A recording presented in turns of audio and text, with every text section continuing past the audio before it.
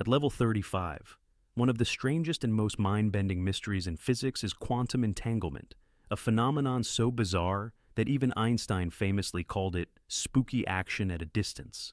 It suggests that two particles can be instantly connected, no matter how far apart they are, even across the entire universe. But how is this possible? Does it mean that information can travel faster than light? And what does it reveal about the true nature of reality? To understand entanglement, we first need to look at the weird rules of quantum mechanics.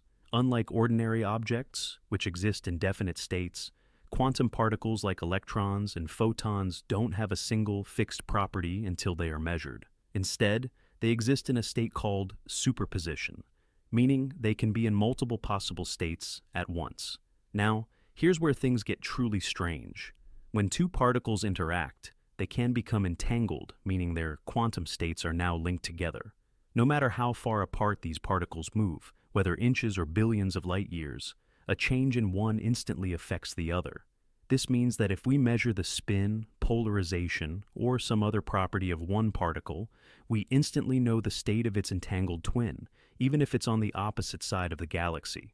This seems to defy the laws of physics, especially Einstein's theory of relativity, which states that nothing can travel faster than light.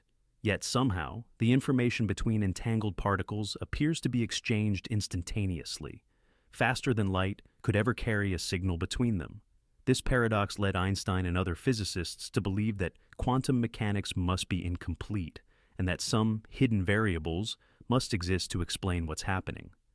For decades, scientists debated whether quantum entanglement was real or just a mathematical trick. But in the 20th century, a physicist named John Bell came up with a way to test it, known as Bell's theorem. His work showed that if quantum mechanics was correct, then entangled particles truly would behave in an instantly correlated way, without any hidden variables.